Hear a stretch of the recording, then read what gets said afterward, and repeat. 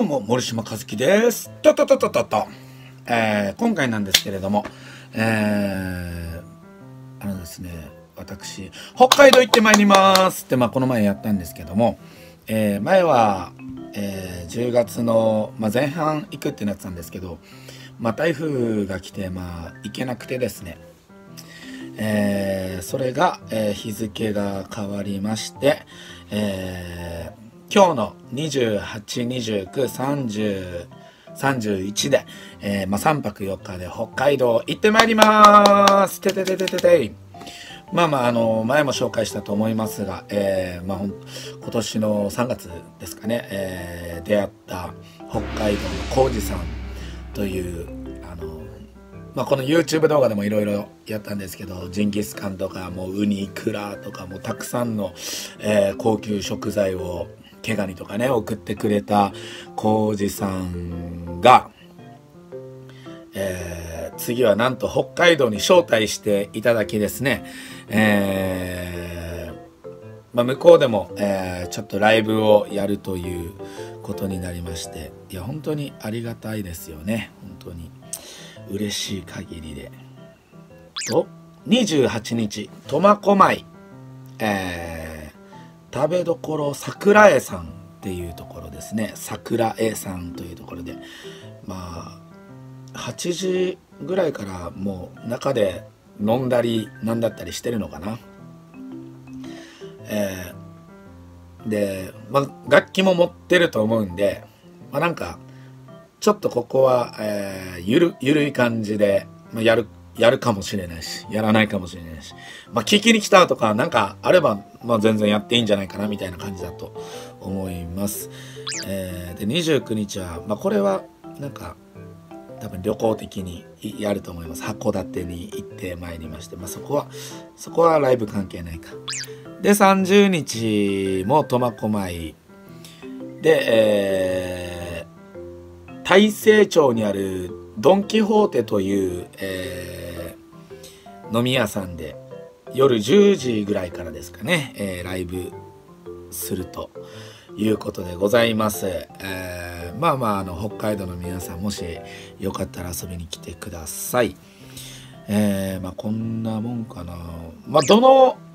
日にちかもしかしたら札幌遊びに行くかなっていう。札幌のねアーケード街でもしかしたら路上やるかもしれない。んでまあこれはまあ分かり次第、えー、ツイッターかインスタに、えーアップしようと思いますのでね、えーまあ、ツイッターインスタのねフォローもよろしくお願いいたします。よければ、えーまあそんなもんですかね。いやー楽しみでございます。しかし。寒いだろうね。もう調べたら一桁いっとったからね。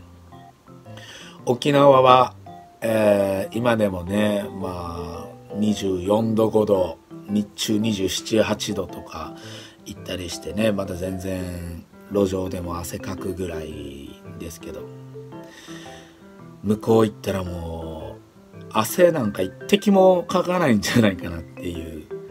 路上したらねあの箱であの室内で歌えば別に大丈夫だけど、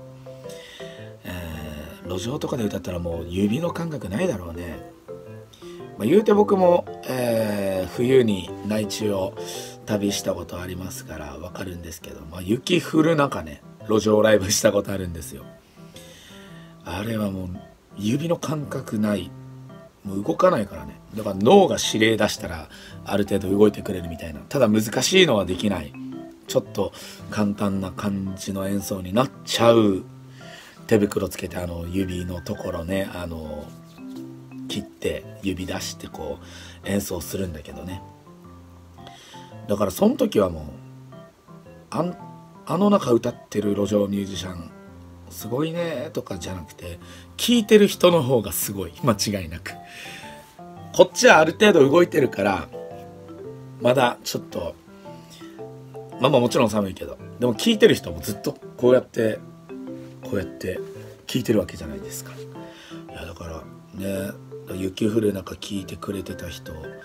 いやー頭ぶっ飛んでるなーって思いましたね。うんうんうん。大丈夫かなって思いましたね。うん。まあまあ嬉しいもんですよ。ほんと。でということで、えー、北海道の皆さん、えー、少しの間お邪魔させていただきますのでよろしくお願いいたします。